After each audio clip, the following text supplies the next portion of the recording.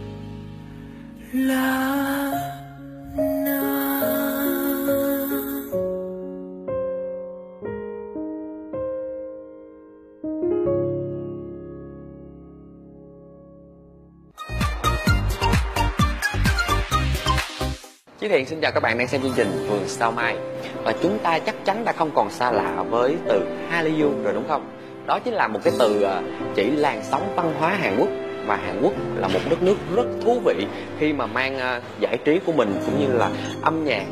phim ảnh để có thể đưa văn hóa của đất nước đến với tất cả các nước ở khu vực châu Á cũng như trên toàn thế giới. Thật ra khi mà tìm hiểu về Hallyu thì tất cả các bạn à, giới trẻ ở Việt Nam đều cực kỳ thích. Thế nhưng lại có rất nhiều tranh cãi ở xung quanh làn sóng Hallyu. Vì uh, truyền thông cũng như các bậc phụ huynh ở Việt Nam đã thấy được những hình ảnh không được đẹp lắm như là các fan hung ghế của thần tượng rồi uh, cãi nhau giữa các fan giữa các nghệ sĩ khác nhau. Nhưng đó chỉ là một số hình ảnh xấu xí uh, mà mọi người thường làm lố lên và đó nghĩ đó là cộng đồng fan Hàn Quốc và sau khi thiện đã tìm hiểu về làn sóng Hallyu thì thiện thấy đây là một cách rất hay để mình có thể học hỏi và tìm hiểu về văn hóa của một đất nước vừa rồi thì thiện đã có một chuyến uh, gọi là uh, làm việc cũng như học hỏi và giao lưu ở Seoul thì thiện đã thấy được rất nhiều điều hay ở làn sóng Hallyu này. Điều đầu tiên mà chúng ta sẽ nói về làn sóng Hallyu đó chính là sự chăm chỉ và tính kỷ luật. Hầu hết mọi người đã xem các nghệ sĩ cũng như theo dõi các idol của mình thì biết rằng là các bạn ấy được đào tạo từ lúc còn rất nhỏ, suốt mười mấy năm trời. Thì cuối cùng họ mới có thể ra mắt được. Có những bạn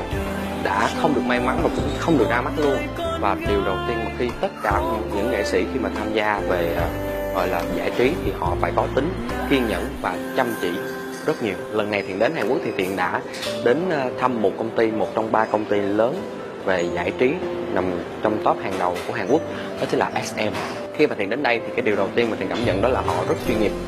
Từ bước vào và chuyện cách bố trí những sản phẩm âm nhạc, những thời điểm, thời gian và những nhóm nhạc, những cái thành viên, những nghệ sĩ ở trong công ty, họ đã được bố trí và nhìn rất là bắt mắt. Và thiện rất là may mắn khi đã được tham gia vào cái giờ tập. Về tập nhảy, thiện đã được tham gia 2 tiếng giờ tập nhảy ở trong SM và thiện đã thấy cách họ làm việc, chuyên nghiệp như thế nào, họ đã chỉ dạy, tập nhảy ra sao. Và thiện thấy cái cái cái khi mà đến SM thì họ đã biến tất cả mọi thứ trở thành công nghiệp một cách chuyên nghiệp. Và thiện thấy đó là một điều rất là hay. Khi mà bạn có sở thích một cái gì đó và hãy biến sở thích đó thành động lực để có thể phát triển được bản thân mình. Và hiện còn đến ờ, và lần đến Hàn Quốc này thì nay cũng đã có dịp đến với KBS để có thể dẫn một cái chương trình đó là KBS World Radio